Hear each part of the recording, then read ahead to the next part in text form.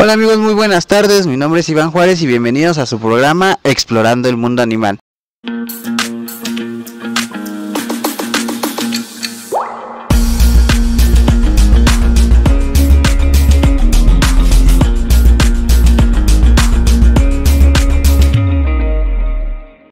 El día de hoy pues nos encontramos en el rancho La Laguna, en el municipio de Tecamachalco, en el estado de Puebla. Pues bueno, un lugar bastante especial, un programa bastante especial, puesto que el invitado que tenemos hoy es mi padre. Orgullosamente lo digo, es mi padre, el capitán retirado Javier Juárez Espinosa, que también hace función como máster K9 internacional. Pues bueno, el día de hoy nos abrió las puertas de su rancho, como ustedes pueden ver, estamos rodeados de vacas. Y en un día de descanso, puesto que él normalmente, ahora sí lo puedo decir, tiene mucho trabajo y nos pudo dar, se pudo dar el tiempo para estar con nosotros el día de hoy. Ok, pues, antes que nada, buenos días y, híjole, pues, ¿qué les puedo decir, no? Hoy, hoy ellos querían presentarme tal cual es eh, Javier Juárez, no tanto como el capitán retirado como el máster Juárez, sino simplemente como Javier, como su padre, ¿no? Y qué orgullo para mí que eh, mis hijos, que en su momento yo los vi nacer, crecer, y ahora miren, resulta que me andan, me andan entrevistando y dando a conocer lo que es un poco de, de- la vida privada, pero qué bueno porque también es parte de, de que eh, mis compañeros, mis colegas eh, se den cuenta de cómo es eh, Javier Juárez. Y bueno, pues muchas gracias, también el honor es mío, Eh, les comento, he estado eh, en varias ocasiones eh, en presentaciones televisivas, radio y demás, pero pues la verdad es que el hecho que me entrevisten mis hijos y Ricardo también es entrenador canino está atrás de cámaras este pues es algo muy especial no que mi propio mis propios hijos me estén entrevistando y me hagan favor de dar a conocer a todos nuestros seguidores la realidad del capitán Javier. Pues no, gracias a ti por concedernos o bueno, darte el tiempo de esta pequeña entrevista en donde nos vas a platicar un poco desde lo que fue tu infancia, este, pues todo lo que has vivido para poder llegar hasta donde has llegado actualmente, y pues es un orgullo para mí poder hacer esta pequeña entrevista. Ok, no, pues muchas gracias. Y miren, a, a muchos se han de preguntar qué hace ahí el capitán con, con vacas atrás, ¿no? La realidad es que este es mi mundo, el- eh, me encantan los animales. eh, aquí pues nosotros eh, venimos de vez en cuando, no siempre, y donde tenemos aquí nuestras vaquitas, algunos borregos y algunos animalitos. Pero bueno, pues quieren conocer un poquito de, de lo que es este la vida del capitán. Bueno, vámonos rápido para no aburrir a, nuestros seguidores. Eh, miren, el capitán nace el 4 de agosto de 1977 en el tercer piso del Hospital Central Militar. ¿Qué quiere decir? Que ya desde ahí traíamos sangre, sangre verde, sangre, sa- eh, sangre de soldado, ¿no? Eh, mi padre pues ya también es retirado, compartimos esa dicha de que ya los dos somos este, retirados. Em, por otro lado también les comento, eh, mi niñez o yo crezco en una colonia que se llama San Felipe de Jesús. Para la gente que conoce esta colonia, bueno, pues sí, realmente es un barrio, un barrio bravo. Ahí, ahí crecí yo, ahí estudié mi primaria em, y se puede decir que este, pues que la verdad admiro a mis padres porque de, de ser una colonia barrio bravo donde había poca cultura en el caso de cultura animal pues miren hasta dónde hasta dónde estamos no gracias a, a Dios gracias a a mis padres. Eh, les puedo platicar que es un barrio bravo. ¿por qué? porque en ese tiempo había bandas. Eh, mi padre nosotros fuimos 10 hermanos, yo soy el menor de, de- de los 10 y bueno, pues eh, ellos pusieron una tienda de abarrotes para ayudarse entre, entre mi, mi- mi madre y mi padre, ¿verdad? Entonces, este, pues ahí se vendía los que venden lógicamente la tienda, pero también se vendía cerveza y llegaba muchos de esas bandas y se hicieron amigos de nosotros, ¿por qué no decirlo así? O sea, las cosas como son, no, no vamos a maquillar nada. Entonces, pues mi madre, cuando yo iba a la primaria, mi madre, este, pues les pedía a los muchachos que nos podían llevar a la escuela, ¿por qué? Por el exceso de trabajo que había. Y así crecí, yo crecí en ese ambiente. Pero muchos dirán, bueno, ¿y tú por qué no te volviste este tomador, drogadicto? Porque yo no tomo. Sí, de vez en cuando me invitan a una cerveza, un whisky con mucho gusto, pero yo no eh, tomé ese camino, ¿no? Como tal. Este, y bueno, pues la, la realidad es que vimos lo que no era bueno, nos inculcaron lo que no era bueno y gracias a Dios, mira, ahorita ya estamos este En otro. pues en otro en, en otras frecuencias verdad Eh, donde disfrutamos más la vida disfrutamos muchas cosas. Y bueno eh, ustedes se han de preguntar cómo inició el, el mundo canino cómo inició el mundo de, del ganado. Bueno rápidamente les voy a, a comentar Eh, cuando yo voy a salir de sexto año la verdad yo le, le reitero provengo de una familia humilde donde era difícil la economía y sigue siendo verdad para todos eh, y bueno, ¿qué es lo que pasa? Por ahí tenía un amigo que se llamaba Miguel, donde de- tenía eh, Alaska Malamut. Entonces, me dice Miguel, él, él era ya grande, ¿sí? Y pues ahora sí que entre mamás se conocían, su mamá le decían la güera y su esposo de, de la güera era herrero. Entonces se conocía como la güera del herrero. La güera del herrero. Ajá. Entonces, este, yo le dije a mamá, ¿sabes qué? Yo quiero un, un perrito. Yo, toda mi ilusión era un perro, un perro, un perro. Entonces me dijo, no, pues sabes que viene tu salida de sexto y esos perros son caros. Entonces le dije, no, no te preocupes. Dile a mi papá y dile a mis hermanos que yo no quiero salida de sexto año. Ya ves que se acostumbra que el vals y El la misa, la fiesta. todo, ¿no? Entonces, este, pues resulta ser que yo no quise fiesta y yo dije, yo quiero mi perro. Y así fue, me compraron mi primer perro, una hembra, porque ya en, en mis ideales decía, pues yo la voy a, a reproducir, voy a crear y voy a vender mis perros y los voy a entrenar y ya empezaba, ¿no? A los 11 Claro. años de edad. Ajá. Bueno, pues resulta ser que este que así es, crezco mi perra, llega mi salida de secundaria, la secundaria yo la estudio en la escuela en la secundaria técnica 71 estudio el primer año, que está ubicada en La Pradera, y de ahí me pasan ya a una escuela particular, digo particular de, lo que- de- entre comillas porque pues, eh, es una- un colegio religioso y este y ahí estuve el segundo y tercer año. Bueno, para no ser la, eh, larga, cuando voy a graduarme el tercer año de secundaria, híjole, ¿qué creen? Que yo quería el macho y, por arte de magia hay un amigo que tiene un macho muy bonito y lo mismo le dije, ¿sabes qué? Mamá, yo no quiero que gastes en mi salida de tercer año, yo ya terminé mi, mi secundaria, mejor dame ese dinero porque quiero comprar un perro, un macho para, para la perra, que mi perra, mi primera perra se llamaba Lacey. Y este, y bueno, pues ya así fue, me compraron el macho, eh, tuve algunos cachorros, los vendí y empecé mi, mi, mi- mi carrera en, el, en, en este, en la canofilia. Pero bueno, yo terminando la secundaria, hago mi examen de admisión al Heroico Colegio Militar y me quedo. Me quedo entonces el primero de septiembre de 1992 yo ingreso al Heroico Colegio Militar. ¿Qué quiere decir? Que yo no disfruté al macho. macho. Yo salía el sábado a la 1 2 de la tarde del colegio militar y el domingo entraba yo a las 9 de la noche.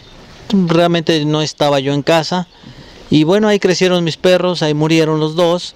Este, sí, les cuando llegaba los veía, los atendía, los secaba, pero pues realmente yo no llevé una una capacitación, no, no aprendí muchos de ellos por el tiempo que me que estaba yo en el, en el colegio militar. Bueno, de ahí pasó este, antes de que entrara yo en el colegio militar, tengo un cuñado, un cuñado que él, él este, estaba en un batallón que eh, dentro del campo militar número uno estaba pegado a una unidad canina, la unidad canina del tercer batallón de policía militar. Y cuando yo, yo le decía, oye, llévame, llévame al cuartel, este, llévame a la alberca para practicar la natación. Yo como hijo de militar, pues derechohabiente a usar instalaciones militares, las albercas y demás. Entonces yo iba y yo me tardaba dos, tres horas viendo cómo los soldados se entrenaban a los perros. Y yo, yo a veces que le decía, oye, consígueme un perro de esos que tienen, pues son del ejército, deben ser unos perros muy buenos, ¿no? Y este me decía sí, sin saber que pues no se podía, ¿no? Que era, que era muy complicado por la- las cuestiones disciplinarias y este, y que pues un perro del ejército no se vende. Y bueno, aunque hay, hay- aunque hay muchos mitos que después vamos a ver, pero no, no se vende ni un perro, ¿verdad? Sí. Bueno, entonces este, pues ya mi cuñado me llevaba y desde ahí yo decía, yo quiero aprender, yo quiero aprender. Bueno, pasó el tiempo, me gradué del Heroico Colegio Militar el 1 de septiembre de 1992 y este, me mandan al 28 Batallón de Infantería que se encontraba ubicado en la ciudad de Tijuana, Tijuana, Baja California. Y bueno, pues yo con lo poquito que había aprendido, con lo poco que había yo entrenado y demás, pues estaba yo en la, en la una ciudad fronteriza donde yo llego al batallón y había un general se apellidaba García, no recuerdo su, su nombre, y le digo, oiga, Mijal, yo quiero, yo quiero entrenar perros, deme la oportunidad de entrenar perros. Y me dijo, mira, tú estás en un batallón, no puedes regresarte a México porque estabas, estás graduando, pero búscate escuelas, estudia, busca cursos, capacítase y yo te voy a ayudar. Y así fue. Así fue mi primera escuela. Eh, fue un amigo que se apellidaba Salvador Huerta. Él desgraciadamente más adelante tuvimos un operativo ya con perros y él, perdió la vida en un operativo este y pues desgraciadamente íbamos juntos entonces este pues es parte de las cuestiones amargas que yo he pasado y bueno el general tenía un perro que se llamaba Conan y esa fue la misión me dijo te voy a dar eh, la oportunidad pero me vas a entrenar a mi perro y efectivamente le entrené a su perro su perro lo hicimos en detección de narcóticos y ahí empezó eh, ya formalmente mi, carrera como entrenador canino. Después de ahí, por las relaciones que había eh, gubernamentales, ¿qué fue lo que pasa? Este, no, me, voy, me voy a San Diego a hacer cursos con la Border Patrol, eh, perros de, de detección. Y bueno, empiezo, después me cambian a Veracruz. En Veracruz yo ya tenía dos perros. Después me cambian al año de estar en, el, en Poza Rica, Veracruz, que ahí naciste tú, bueno, naciste en México, pero llegaste a, a Poza Rica, eh, mm, pues ahora sí recién nacido y viviste hasta los tres años. De ahí nos cambian a México, precisamente a las filas del Estado Mayor Presidencial. Eh, cuando llego al Estado Mayor Presidencial, ¿qué es lo que sucede? Yo este, me, me mm, comisiona la sección quinta, que es seguridad de instalaciones. Y dentro de la seguridad de instalaciones vitales hay una unidad canina. Entonces, lo primero que yo pregunto es, ¿hay unidad canina? Sí, yo me quiero ir ahí. Pero como había vaca, no había vacantes, no había nada, en los ratos libres yo me subía, yo me subía a entrenar con los muchachos y el jefe de la unidad canina pues me veía que más o menos yo sabía cómo estaba, los apoyaba, me llevaba bien con ellos pues fue y le dijo a, un general, al general que estaba en ese mando, es Amador Soto se apellidaba, si no me recuerdo, Ángel Amador Soto, y este y me llama, iba a ser un, un 15 de septiembre, y me dice, oye, ¿te gustan los perros? Sí, te vas a ir para allá arriba, quiero que le eches ganas. Ah, excelente. Y de ahí empiezo hasta que llegue a ser este encargado de, la unidad canina, como llegar como jefe. Y bueno, el Estado Mayor me dio muchas oportunidades de, ir a varios países a capacitarme, de estar trabajando con gente de seguridad de otros países, capacitar gente en el, en el del, del adiestramiento canino. Y bueno, pues en el Estado Mayor este, conozco mucha gente, muchas personas y pues más me empiezo a interesar en la gente, eh, conozco, eh, voy a instituciones de renombre como es Federación Canófila Mexicana, empiezo a dar este, diplomados, empiezo a dar cursos este, y bueno, también conozco personas que, que vivían aquí en la laguna, que fueron mis subalternos y me invitan, oye, vamos al rancho y pues la verdad es que a mí me encanta todo esto y de ahí este, empiezo a decidir hacer un rancho aquí y mira ahora estamos rodeados de, de, vacas, de becerros, de borregos, de gallinas y de todo lo que hay en, el rancho, ¿no? Patos, eh, por ahí vas a hacer otros reportajes. Pero bueno, pues la verdad es que ese es parte de lo que es el Capitán Juárez en la realidad. Eh, tú sabes que muchos lo conocen también, que, que ya este, en un segundo video seguiremos un poquito con esta situación y con lo que es AIPCA. ¿Quién es AIPCA? ¿Por qué decido hacer AIPCA? ¿Quiénes son los que intervienen para hacer AIPCA? Porque mucha gente me dice, oye, ¿y quién te dijo esto?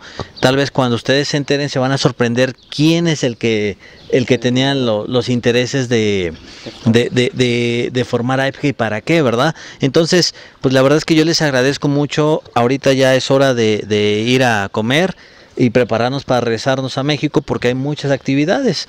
Entonces, pues esto es parte del, primer video. La verdad es que yo les agradezco mucho. Eh, tal vez la, entrevista no tuvo así una forma como tal, pero sí La verdad, este, perdón, la verdad es que pues sí me sorprende una entrevista en mi rancho. Eh, tal como es el capitán, lo que le gusta, atrás de las vacas, ahorita que está lloviendo, cómo, cómo están las cosas, y pues entrevistado por mi hijo, ¿no? Por mis hijos, imagínense. Entonces, pues gracias, aquí te paso el micrófono para que hagas lo, lo conducente. No, pues muchas gracias a ti por podernos conceder esa entrevista, porque lo dices, hay muchas actividades, ahorita una breve historia de lo que lo que has vivido, lo más nada infancia, entrar al colegio. Y vamos a seguir, vamos a seguir con estos videos para que la gente pues conozca qué hay detrás de, de todo. Y pues muchas gracias.